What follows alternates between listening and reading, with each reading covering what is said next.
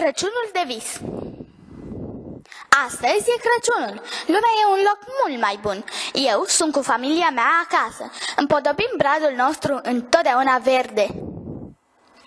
După ce bradul a fost împodobit așa cum se cuvine, familia mea s-a pus în pat și au adormit. Eu am fugit lângă brad pentru a-l servi eu personal pe Moș Crăciun cu lapte și, și prăjiturele.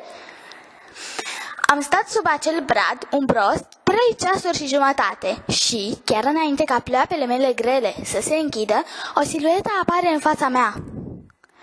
Silueta se apropie cu pași mărunți de mine, însă, fără a-mi da seama, adorm. Silueta încearcă să mă pună în patul meu, însă eu, prefăcându-mă că încă dorm, încep a mă zbate din toate puterile, însă în zadar. Misterioasa siluetă mă pune cu grijă pe ceva moale, însă eu nu-mi pot da seama ce este până când omul mă trezește și observ că sunt, că sunt pe un nor făcut din argint și aur. Și ce să vezi, silueta era chiar moșul pe care îl așteptam cu atâta nerăbdare. Acea, acesta mi-a spus că biata Crăciuniță este grav bolnavă și doar o turtă dulce făcută de mine o poate salva.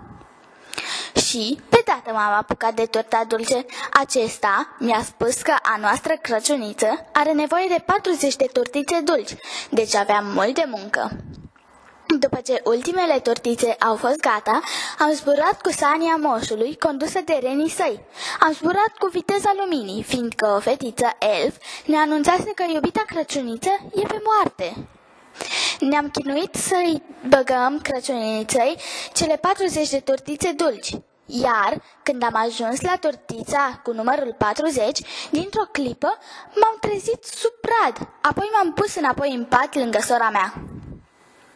Când m-am trezit, erau o mulțime de cadouri sub brad, iar tot sub brad era și un uh, bilețel pe care scria Mulțumesc pentru torta dulce.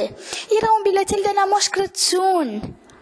De atunci eu cred în Moș Crăciun.